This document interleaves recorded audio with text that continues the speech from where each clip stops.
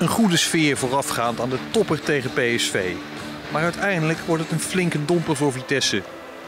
Want na een 1-1 ruststand loopt PSV in 10 minuten uit naar 1-4. En dat is uiteindelijk beslissend. Als je kijkt naar uh, dat je de wedstrijd in 10 minuten zeg maar, vergooit, omdat je in die 10 minuten gewoon ja, of taken niet uitvoert of wat dan ook, dan uh, slaan zij meteen toe. Ja, dan krijg je in 10 minuten uh, drie goals tegen en dat is, dat, dat is zuur.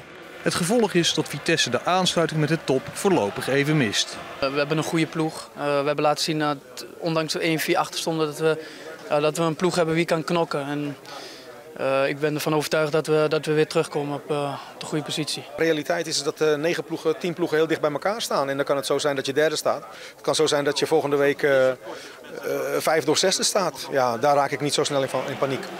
Maar veel tijd om stil te staan bij deze nederlaag is er niet. Want donderdag wacht alweer de Europa League wedstrijd tegen Zulte Waregem.